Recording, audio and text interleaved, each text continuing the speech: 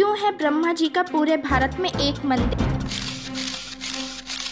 हिंदुओं में तीन प्रधान देव माने जाते हैं ब्रह्मा विष्णु और महेश ब्रह्मा इस संसार के रचनाकार हैं, विष्णु पालनहार है और महेश संकारक हैं। लेकिन हमारे देश में जहाँ विष्णु और महेश के अनगिनत मंदिर है वहीं खुद की पत्नी सावित्री के श्राप के चलते ब्रह्मा जी का पूरे भारत में एकमात्र मंदिर है जो कि राजस्थान में प्रसिद्ध तीर्थ पुष्कर में स्थित है। आखिर क्यों दिया सावित्री ने अपने पति ब्रह्मा को ऐसा श्राप इसका वर्णन पुत्र पुराण में मिलता है। हिंदू धर्म ग्रंथ पुराण के मुताबिक एक समय धरती पर ब्रजनाशक नामक राक्षस ने उत्पात मचा रखा था। उसके बढ़ते अत्याचारों से तंग आकर ब्रह्मा जी ने उसका वध किया। लेकिन वध करते वक्त उनके हाथों में तीनों जगह पर कमल का पुष्प गिरा। इन तीनों जगहों पर तीन झीलें बनी।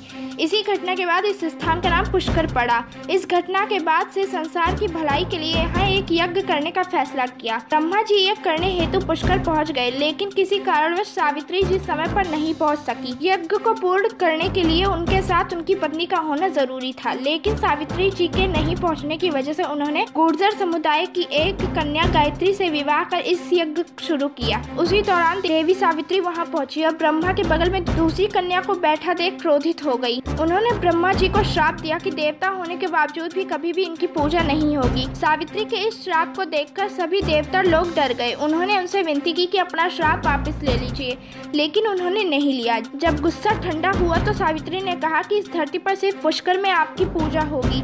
कोई भी दूसरा आपका मंदिर बनाएगा तो उसका विनाश हो जाएगा।